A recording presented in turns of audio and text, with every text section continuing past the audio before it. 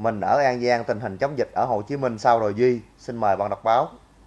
Báo nó sẽ nó sẽ viết rõ hơn Duy và nó sẽ viết rành hơn Duy nha.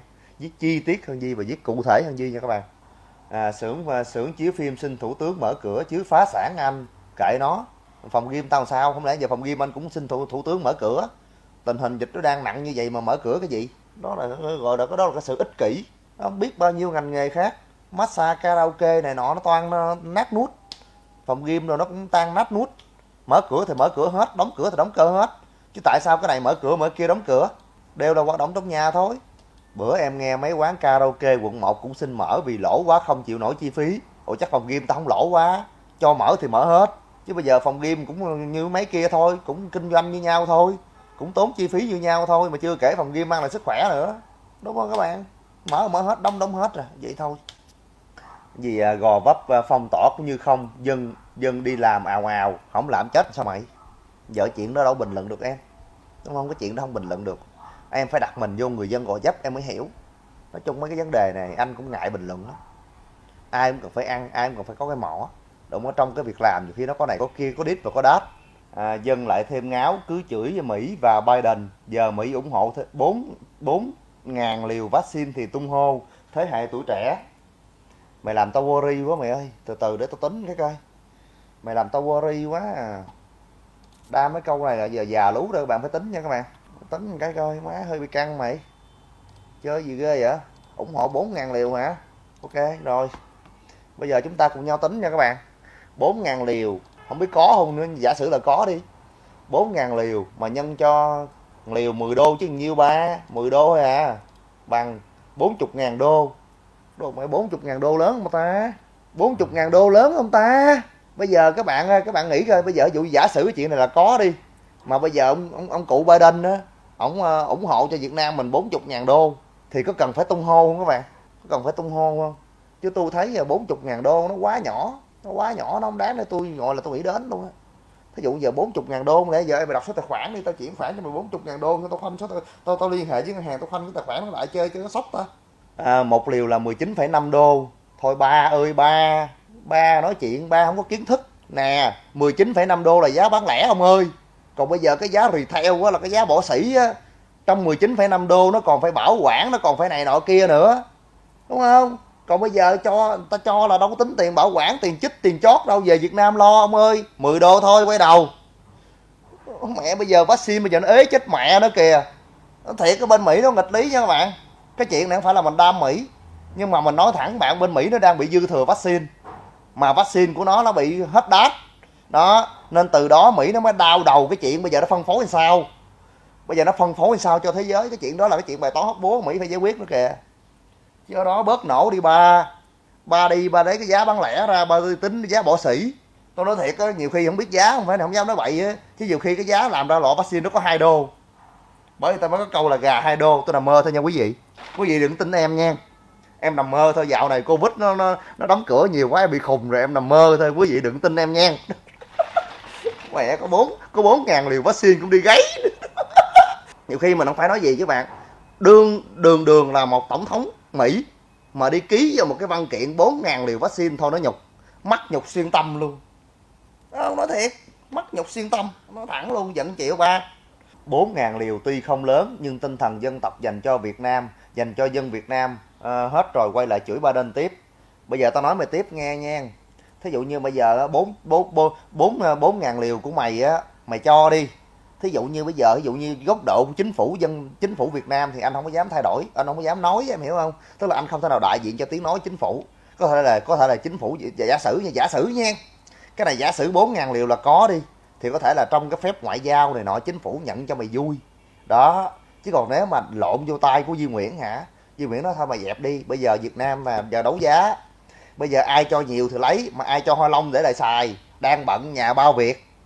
Đúng không các bạn? Tôi có quyền nói vậy không? Đó là quan điểm cá nhân tôi tôi nói trong giấc mơ nha các bạn, đừng tin tôi. Các bạn đừng tin tôi nha. Đó, tôi nói trong giấc mơ mà. Hợp lý không? Thí dụ giờ nước A tặng nước B, tặng nước C, tặng nước D, tặng. Đúng không? Mà trong khi đó doanh nghiệp trong nước người ta cũng sẵn sàng người ta chung tay với chính phủ. Đúng không? Người ta bỏ tiền ra người ta mua. Mà bây giờ làm một cái phi vụ có 4 ngàn, có 4 ngàn liều có nên làm không?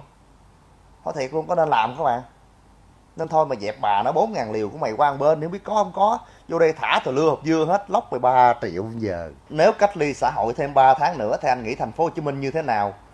Anh kiểm điểm em viết chữ thành phố Hồ Chí Minh phải viết hoa.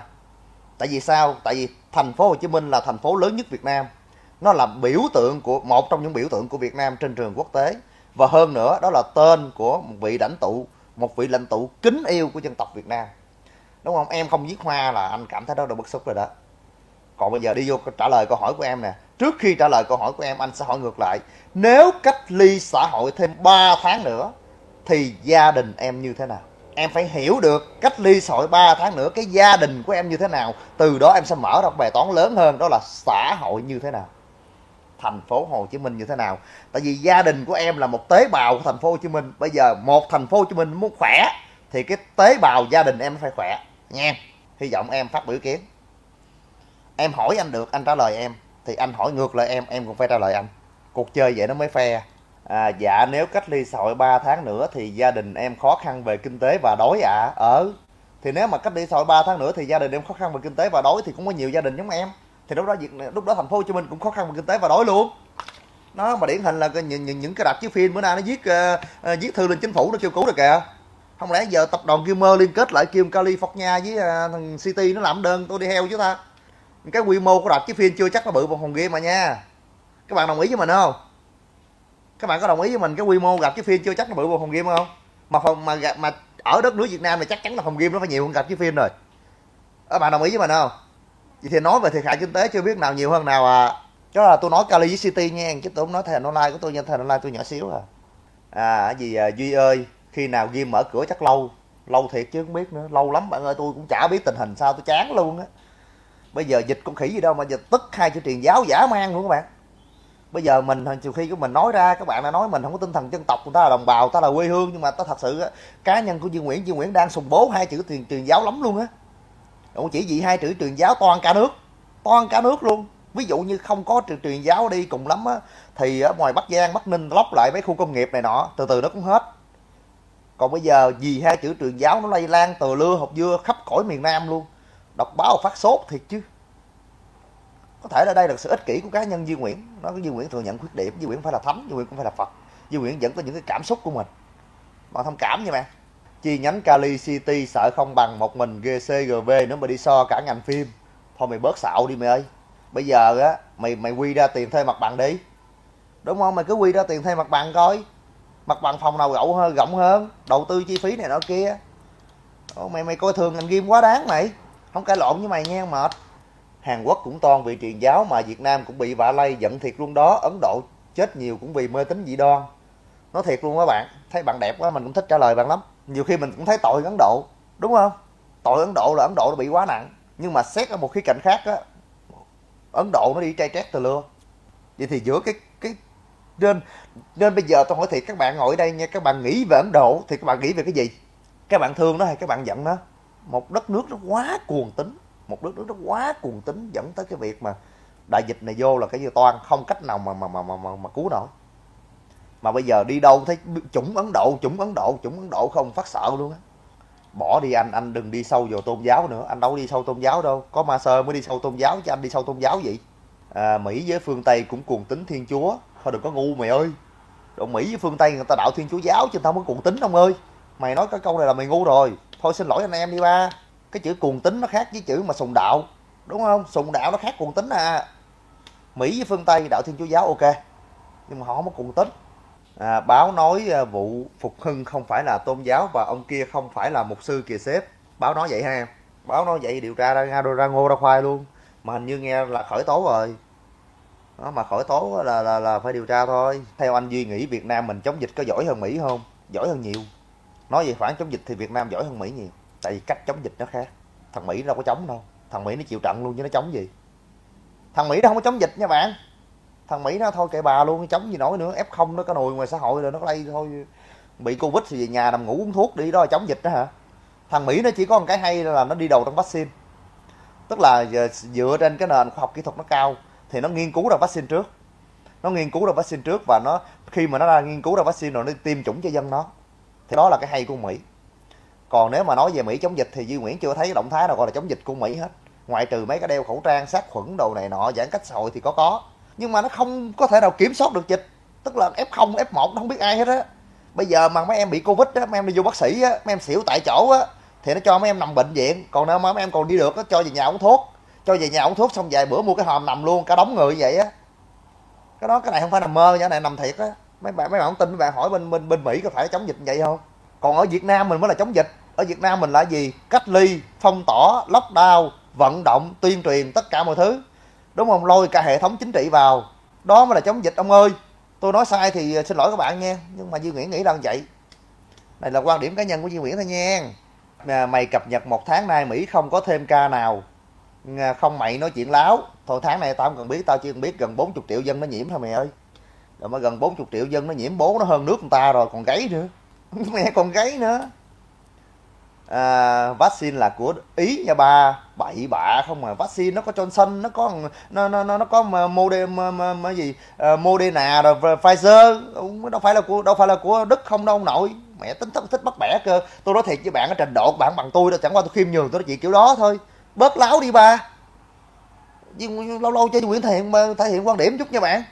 Tôi nói chuyện tôi khách sáo với nó nó tưởng là tôi tôi là mèo nó dụ nó vút nó vút râu hoài. Mấy vừa vừa phải phải thôi bộ làm như mỹ nó có mình ờ, thằng beo tách hả mấy nó có moderna thì nó cũng phải có thằng pfizer nó có thằng johnson đó ba. Cãi cãi hoài bẻ cổ giờ. À, việt nam gặp chủng ấn độ thì truy vết f0 f1 gần như vô dụng. Thôi mình nín mẹ đi mày ơi. Mà cả chính phủ cả đất nước cả người dân ờ, người ta toàn người ta toàn uh, sức người ta chống dịch. Mày nói một câu tạt nước lạnh vậy người ta bóp cổ mày chết giờ. Đúng không? Tôi cốc cần biết thằng thầy nó nó đúng hay là nó sai mày mà nói sai cái câu này là 7 triệu rưỡi đó không giỡn đâu. Cái câu này là câu gì các bạn? Cái câu này là là, là khép án được đó. Đó cái câu này 7 triệu rưỡi được nha. Nhưng mà mày nói đúng hay nói sai chuyện đó để pháp luật xử lý mày.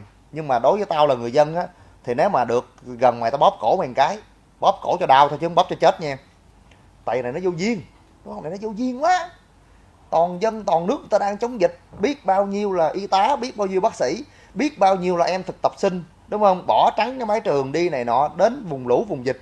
Biết bao nhiêu cái cô y tá lấy lấy gì? Lấy lấy lấy lấy lấy, lấy dịch xét nghiệm á mà đeo cái bao tay á mà giờ mở cái bao tay ra cái bàn tay trắng phiếu luôn.